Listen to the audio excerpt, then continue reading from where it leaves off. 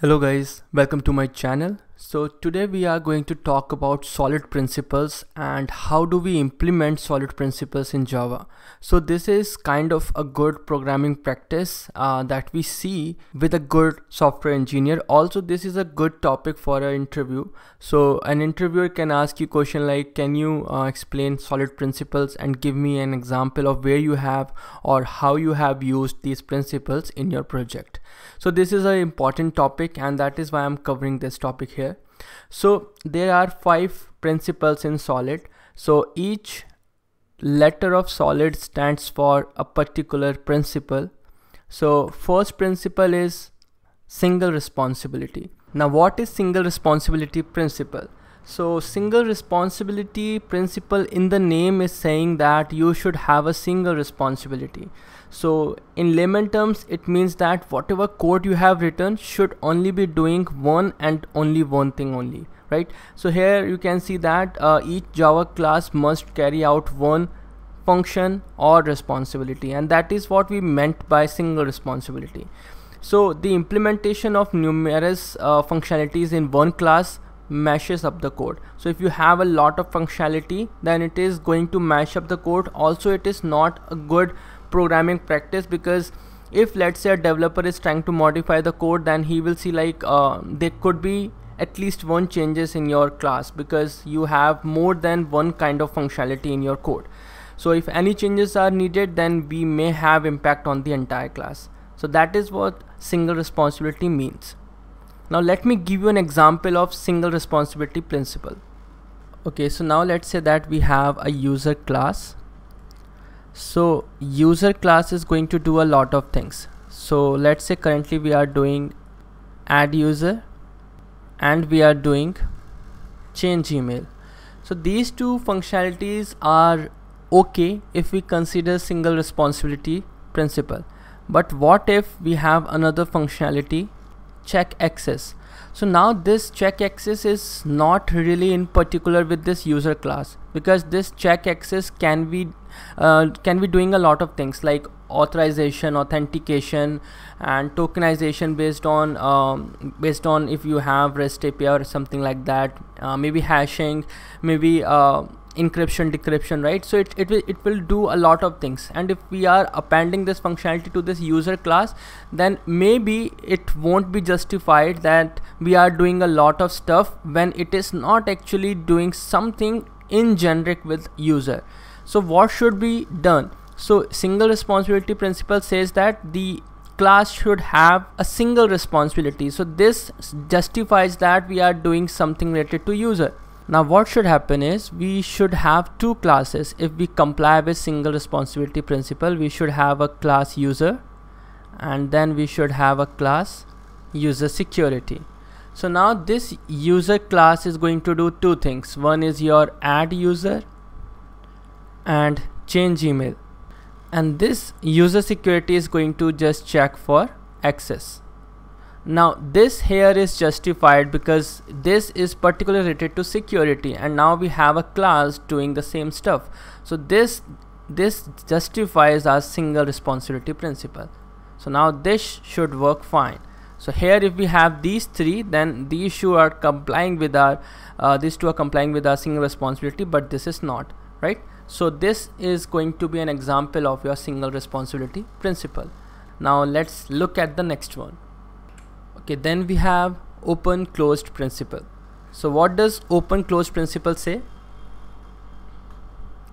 Open closed principle again we have two term here which is open and close. So it says that our code or module should be open for extension but closed for modification. Now what does this mean so extension in the name means that that we are extending or added something new to our already existing thing. But modification means that we are changing the already existing entity. So here this principle says that you can extend whatever you want you can extend but you shouldn't modify your existing code. And that is what this open close principle mean right so now let's take a look at an example which will show this principle functionality. So taking an example let's say that we have two class rectangle and then we have circle two classes. Now I have another main class which is calculating area of rectangle and circle. Right? So here which means that I am having two method one to calculate rectangle area and another to calculate circle area right? So here we have two methods. But remember that rectangle area is dependent on length and breadth and circles only on radius. Now these two methods are different but problem is that let's say if I have another shape let's say I have um, rhombus or triangle. In that case I have to add another method which is again a pain. Then let's say I have another shape let's say s1 then again I need another method and so on and so forth. I will be modifying this main method. So this uh, this main method uh, this main class is not actually extensible. It is modifiable which is defying the principle of open and closed principle now what should happen in this scenario? So here first we should have a shape interface right? So this shape interface is going to have a method let's say calculate area. Now we will have two method two classes again rectangle and circle. Now both these two classes will implement shape interface and again implementing calculate area methods. Now uh, this one's area will be different uh, this one's formula will be different calculation will be different and this one will be different. But they both can be different right? Because that's how interface works. Now how is this resolving our problem is again we will have our main class. Now in this main class I can directly call whichever's calculate area method I want right? Let's say I want to call rectangles dot calculate area then I will do something like this. So here I'm not modifying the code right? Because here if I have another uh, let's say shape then that class let's say triangle we have.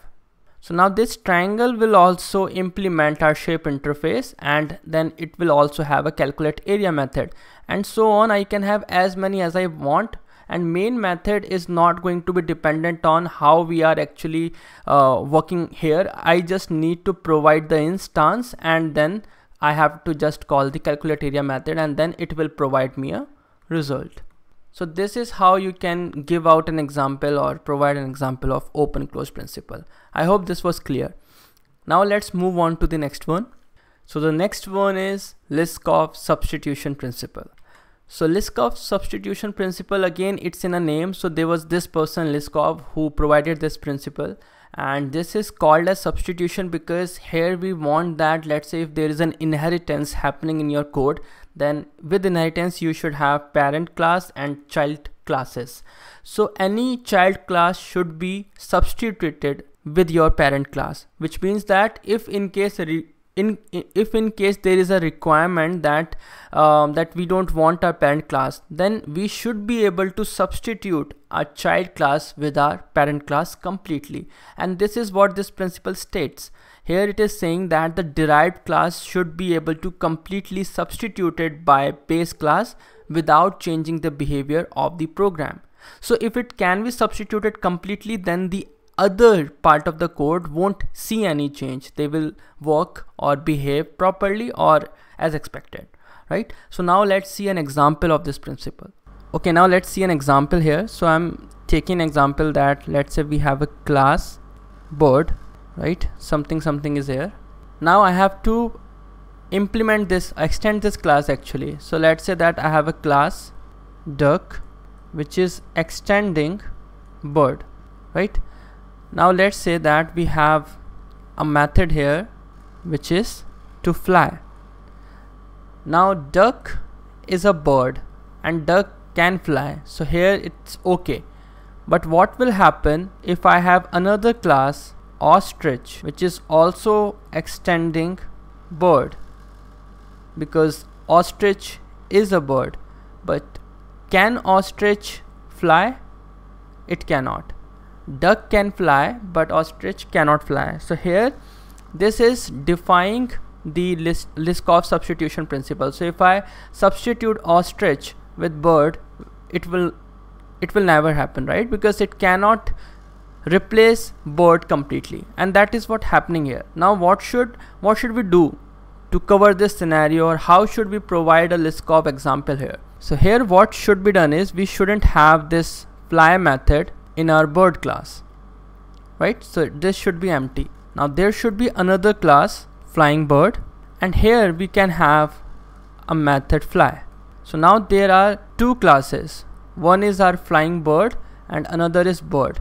Bird doesn't have any method and flying bird has a method fly right? So now what we will change is now duck will not implement bird. Rather it will implement flying bird right? So when it will implement flying bird it will be a bird and it can fly. So that is justified here. And here ostrich is a bird. So it cannot fly and it just it is getting justified with this one right? Because it doesn't have a method so it just it is getting justified that yeah it is a bird. So if I replace ostrich with my class bird then it will be justified because it can completely substitute. And if I replace duck with flying bird which means that if I replace flying bird if there is no flying bird and if it if there is only duck then it can also function as a flying bird. And we can use it as we were using flying bird. And same is the case for ostrich right? So this is an example of Liskov substitution principle. Now let's move on to the next one.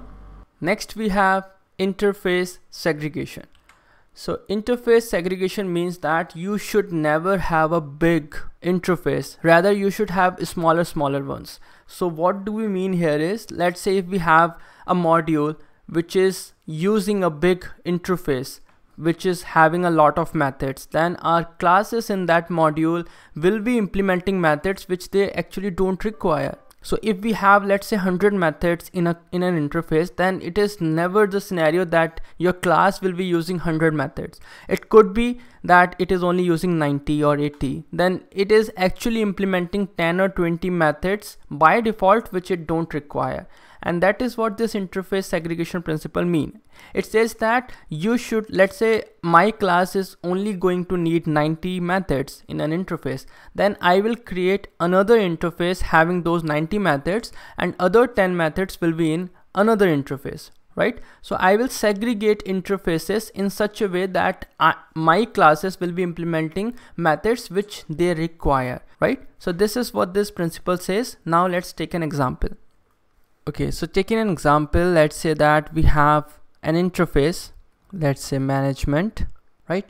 Now this management interface is having methods like let's say add add employee add seat add project right so let's assume that we have these three methods right now what is happening let's say i have class like let's say there is class project manager and then there is this class manager now my manager, my manager class is going to do, let's say add employee, add employee, and let's say other stuff like delete employee, right? And my project manager is doing add project. Now what is happening? Let's say my project manager class, this class, let's say it is implementing my management interface, then it has to override these three methods. And actually it requires only one add project. And same is the case for our manager. So manager if it is going to implement management then it only requires add employee method but it has to override all these three.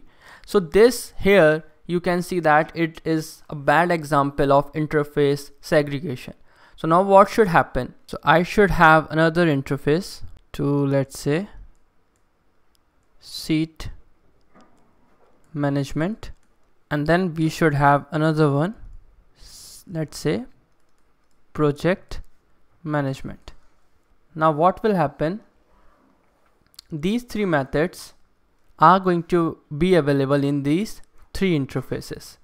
So project management is going to have let's say add delete project. Seat management is going to have let's say add delete seat. And employee management is going to have add delete employee. Now with this what is happening is our manager class is not going to extend a generic interface. It is just going to implement amp management. And it will get the same method which is require which it basically require. Now for the project manager case we are going to implement interface project management. And again it will require this method so it will get only this method. It won't get another method. So if we have another class uh, for seat management then again it will have only one method which it which it requires. So this is an example of interface segregation moving on to the next one which is the last one dependency inversion. So dependency inversion says that your code should be loosely coupled. It shouldn't be tightly coupled which means that our modules should be decoupled. So what will happen? Let's say we have high level modules and low level modules. And if high level module is uh, let's say is dependent on low level modules or vice versa then this is a coupling here. So this coupling should not be there. Rather there should be some kind of abstraction there. And these both high level and low level modules should be dependent on abstraction rather than on itself right? So now let's see an example of dependency inversion. Okay so again let's take an example of shape which we have already taken before. So here let's say that I have my main class and inside my main class what I'm doing is let's say I'm just trying to create object of rectangle r equals to new rectangle. Now this r object is tightly coupled here. How? Because let's say if I have more shapes then I have to do let's say a shape so if I have more shape then I have to do something like this also circle C equals to new circle. So this is again tightly coupling. Now however or whatever shapes I have I have to create the instances for them and let's say I just have to calculate the area. This is what is required. So I have to call this multiple times. So like after R we have to do something like this also which is not a good programming practice. Now what should happen here? So here in my main class, so here I will have another interface shape which is going to calculate the area for me like we will have a calculate area method and in my main class what I will do is I will just do shape let's say rectangle equals to new rectangle so here we have provided the loosely coupling. So here my code is not dependent on rectangle much, rather on shape. So here this calculate area is going to be implemented by all the shapes like how like how how many they are like it can be n n shapes and that is not something that I have to take care of. I have one interface which is going to be a blueprint or some kind of template for every shape and they can implement this to uh, for my main class so that I can calculate the area easily using my shape interface right? So shape interface here will not change. Here just I have to change the instance.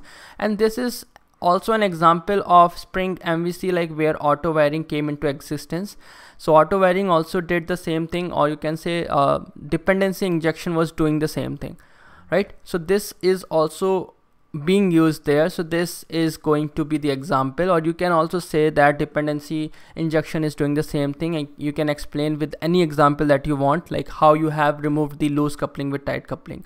Sorry I said the opposite thing. How you have removed the tight coupling with the loose coupling right? So this is the example of dependency inversion. And this was the last principle. And I really hope that this presentation was clear and crisp and you got all the details like what I wanted to give out. If there is any kind of question, do let me know. If you have any feedback also from where like I have improved, then also let me know. And if you have liked this video, don't forget to like and share and yeah don't forget to subscribe to my channel and this is it for this video i really hope that we will meet in some other video till then have a good day stay safe and bye bye